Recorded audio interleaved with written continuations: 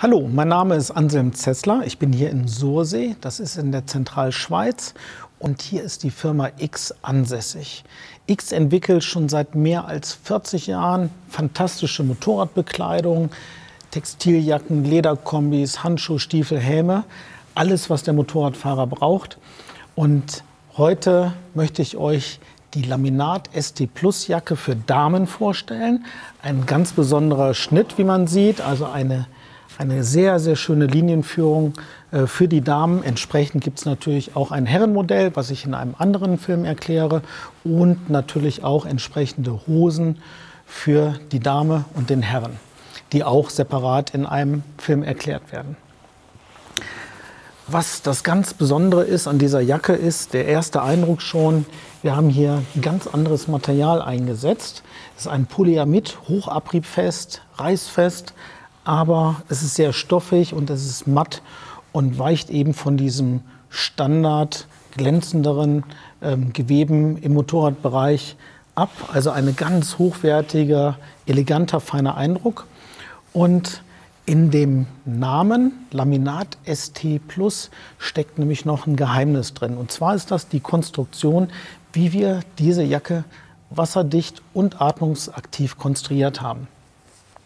Üblicherweise wird hinter dem Außenmaterial noch eine Membran wie eine zweite Jacke reingehängt. Die ist dann zwischen dem Außenmaterial und dem Futter. Und wenn Feuchtigkeit von außen auf die Jacke trifft, dann geht die natürlich durch das Außenmaterial oder an Nähten durch und stoppt dann bei der Membran. Aber dadurch wird eine Jacke sehr schwer, wird schnell klamm und man fühlt sich auch nicht wohl. Man kann auch schnell auskühlen. Und wir haben eben hier eine Laminatkonstruktion ähm, gemacht, indem wir diese Membran auf der Rückseite von diesem stoffigen Außengewebe auflaminiert haben. Mit ganz vielen, ganz, ganz kleinen Mikroklebepunkten. Und dadurch kann Feuchtigkeit, die jetzt von außen kommt, sich nicht mehr dazwischen irgendwo zwischensetzen. Die Jacke speichert die Feuchtigkeit nicht ab.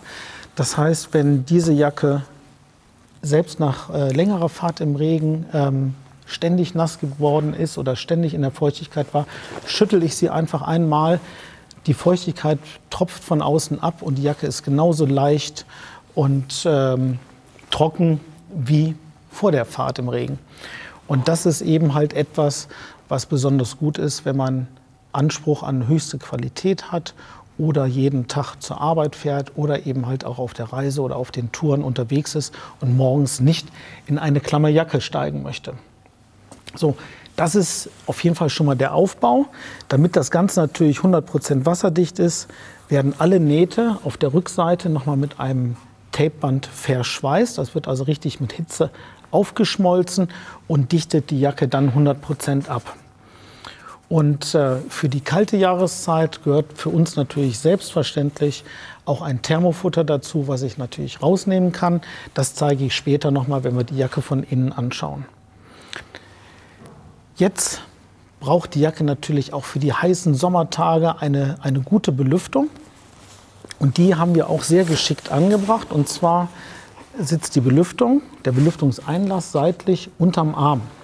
Und das hat den Vorteil, dass wenn ich während der Fahrt auf dem Motorrad sitze, entweder mit den Händen am Lenker, dann habe ich eben halt hier einen sehr guten Eingang für die Luft, weil oftmals auch das Cockpit ähm, den Wind natürlich oben über den Helm rüberleitet. Das heißt, hier habe ich auf jeden Fall eine gute Luftzirkulation. Und selbst wenn ich mit dieser Jacke ähm, als, ähm, als Beifahrer auf Motorrad sitze, habe ich seitlich immer noch den idealsten Lufteingang, weil die Luft eben auch den Fahrer vor mir umströmt. Also eine perfekte Anordnung für die B-Lüftung. Und wenn ich eine B-Lüftung habe, gehört natürlich auch hoppsa, eine Entlüftung dazu und die ist hier im Rückenbereich eingesetzt. Das heißt, die Luft, die reinkommt, geht natürlich auch wieder raus, durchströmt im Inneren die Jacke und die Jacke kann sich dann auch nicht aufblähen während der Fahrt oder Unruhe eben halt auch auf den Lenker geben. Also eine sehr, sehr gute äh, Belüftungsanordnung und sie hat durch unsere Konstruktion mit dieser laminierten Membran auch noch den Vorteil, dass wenn ich jetzt den Belüftungsreißverschluss öffne, im Grunde genommen die Luft ja bis an den Körper ran kann, Bei üblichen Jacken oder bei Standardkonstruktionen hängt dahinter eine Membran. Ich kann zwar die Membran belüften, hier belüfte ich tatsächlich denjenigen, der die Jacke trägt und der fühlt sich dann eben halt auch an heißen Tagen besonders wohl. Und zusätzlich haben wir hier noch einen Druckknopf eingearbeitet, wo dieses Belüftungselement auch noch aufgestellt werden kann. Das heißt, ich kann auch, auch noch entscheiden, wie viel Luft einströmt. So, das heißt, technisch schon mal sensationell gut und sehr hochwertig ausgearbeitet. Dann haben wir im Armbereich hier diese zwei Versteller, die haben auch eine ganz besondere Funktion, dass der äh, Arm natürlich enger am Körper anliegt, aber natürlich auch, dass der Protektor damit nochmal an den Ellbogen rangezogen werden kann. Ich demonstriere das hier mal mit dem Protektor. Der sitzt nämlich dann in so einer Tasche im Inneren der Jacke und der wird an den Körper eben eng rangezogen. Und gleichzeitig haben wir die Tasche auch so konstruiert im Inneren der Jacke, dass ich den Protektor auch nochmal in der Höhe verstellen kann.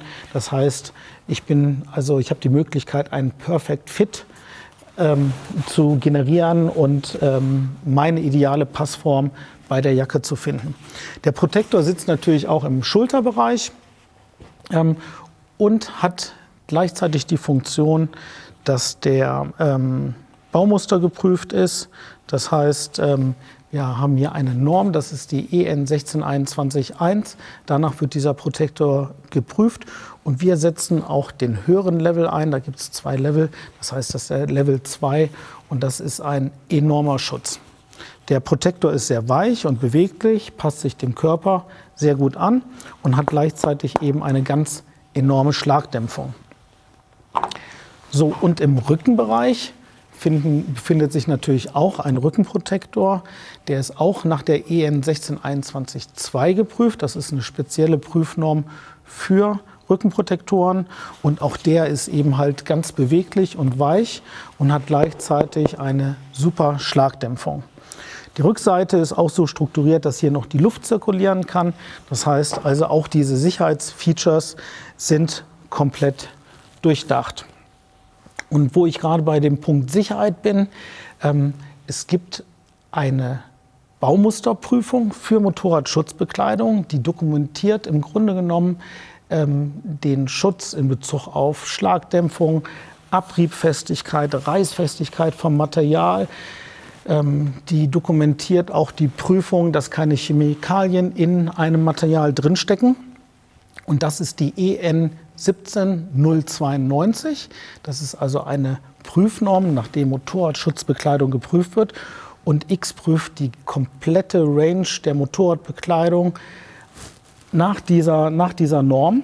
Und ähm, ihr erkennt es dann an diesem Booklet, was wir auch ans Produkt dranhängen, an dieser CE-Kennzeichnung. Und dann wisst ihr, dass es höchste Qualität ist und dass ihr eine wirkliche Schutzjacke zum Motorradfahren tragt.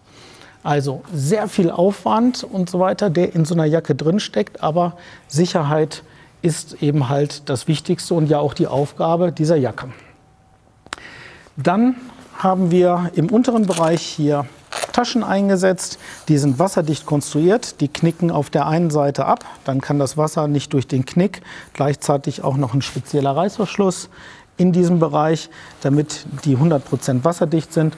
Es gibt ganz gemütliche Einschubtaschen hier an der Seite, dass man auch mal, wenn man nicht auf Motorrad sitzt, die Hände reinstecken kann. Und es gibt natürlich auch eine wasserdichte Gesäßtasche, wo ich dann auch noch mal die ein oder anderen ähm, Dinge unterbringen kann.